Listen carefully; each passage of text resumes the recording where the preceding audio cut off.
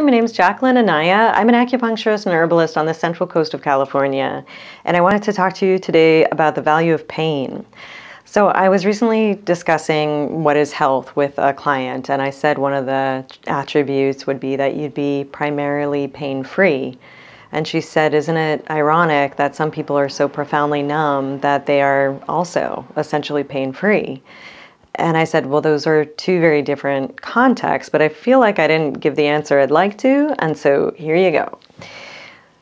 Being uh, numb to the point where you're not feeling pain on a regular basis would be analogous to scar tissue. And so, one in five Americans is in chronic pain, and that's really unfortunate to me because acupuncture treats pain so well. Um, scar tissue, when it happens, comes from a place of trauma and it allows the body to persist as a structure to survive extreme experiences. Um, but it doesn't feel anything. It doesn't feel pain. It doesn't feel pleasure. It's not sentient. It's not feeling any range of human emotions, which literally the rest of your body is actually feeling. It's not communicating with the rest of your body.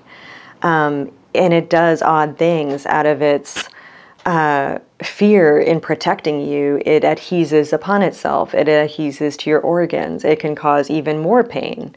So, being that level of numb is not healthy because pain essentially is our teacher. It prompts us to take care of ourselves, to take better care of ourselves. It prompts us to evolve. It prompts us in so many ways.